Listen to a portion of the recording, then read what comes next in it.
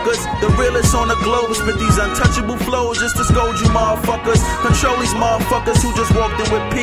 It's me flashing all the bros and we rapping all heat. Uh, I show love to the niggas who know the recipe and show more love to the niggas who second guessing me. Second guessing P. There's my cue to use the alphabet, though I regret spitting metaphors that only I can get. It's our time, real edible on our grind, and won't stop with these rhymes until I can recline, signing checks until I'm recognized and held as a GOAT. And all over my news feed is filled with profound quotes from R.E.S.P.